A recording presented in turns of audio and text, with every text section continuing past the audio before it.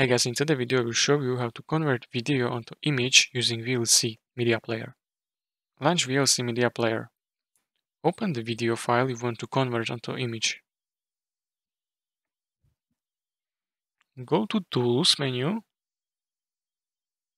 Click on Preferences. In the bottom left corner of the Preference window, select All under Show Settings. On the left sidebar, go to Video and then select Filters.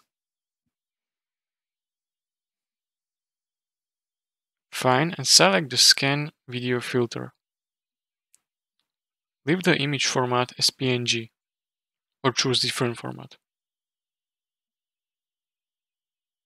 Set the path where the images will be saved. Adjust the recording ratio to determine how frequently images are saved. For example, 1 for every 5 seconds.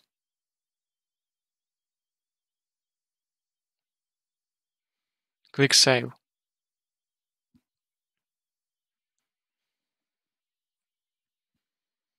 Tick the checkbox next to Scene Filter to enable filter.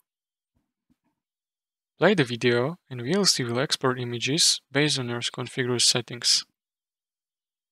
After exporting images, go back to Filters and untick Scene Video Filter. Turn it off. This step is crucial to prevent continuous images export when playing other videos. And that's it guys. If you found this tutorial helpful, please consider subscribing and liking video.